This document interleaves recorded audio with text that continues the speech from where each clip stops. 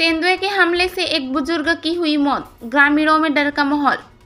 छत्तीसगढ़ के उत्तर बस्तर संभाग के कांकेर ज़िले के सुदूर वनांचल गाँव में इन दिनों तेंदुआ का दहशत देखा जा रहा है।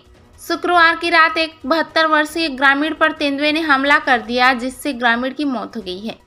मिली जानकारी के अनुसार पूरा मामला चरामा वन परिक्षेत्र है, जहाँ ग्राम पलेवा निवासी गाड़ाराम जुर्री उम्र बहत्तर वर्ष। बीती रात अपने घर में सोए हुए थे। तभी गाँव से 200 मीटर की दूरी पर स्थित जंगल से एक तेंदुआ आया और बुज़ुर्ग ग्रामीण पर हमला कर दिया। तेंदुआ बुज़ुर्ग को घसीटते हुए जंगल की ओर ले जा रहा था। तभी ग्रामीणों की आवाज़ सुन तेंदुआ बुज़ुर्ग ग्रामीण को छोड़ जंगल की ओर भाग निकला। तेंदुए के हमले से लहूलुहान ग्रामीण को रात में ग्रामीणों की मदद से चरामा अस्पताल लाया गया, जहाँ डॉक्टरों ने उसे मृत घोषित कर दिया। वन परिक्षेत्र अधिकारी एस आर सिंह ने बताया, शनिवार की सुबह आठ बजे घटना की जानकारी मिलने के बाद मौके पर पहुँचे थे।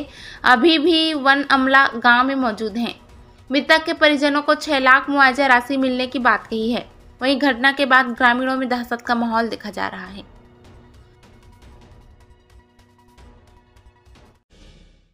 यदि आपने हमारे चैनल को सब्सक्राइब नहीं किया तो कर दीजिए और बेल आइकन को दबाना ना भूलें। ताकि आपको हर खबर की अपडेट मिलती रहे।